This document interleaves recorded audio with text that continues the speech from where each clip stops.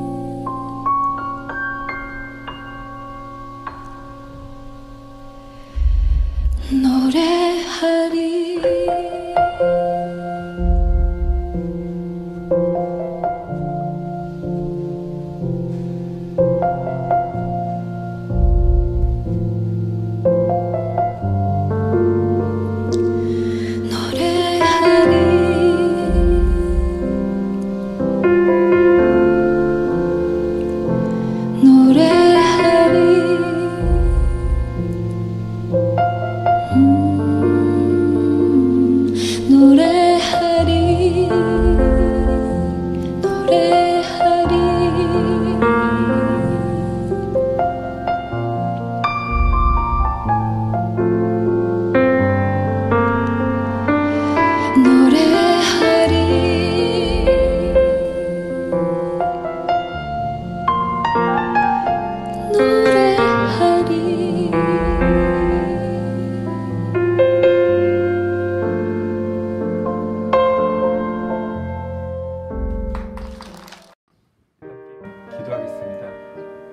사랑의 하나님 감사합니다.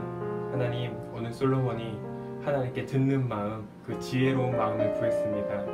하나님 그 지혜로운 마음을 구하여서 그가 다스리는 나라에 있었던 연약하고 작은 자들의 억울함과 슬픔을 들어주며 해결해주는 그 일들 가운데에 그 지혜를 사용하였습니다. 하나님 오늘도 우리에게 주어진 하나님께서 주신 그 지혜와 능력을 가지고 우리가 우리 이웃에 있는 그 연약하고 아파하는 이들의 그 고통을 우리가 외면하지 않게 하시고 함께 참여하며 그들과 함께 할 수 있는 우리의 믿음이 되게 하여 주시옵소서 우리가 더욱더 하나님을 붙들고 나아갈 수 있는 이 시간들 되게 하여 주옵소서 감사드립니다. 예수님의 이름으로 기도드립니다.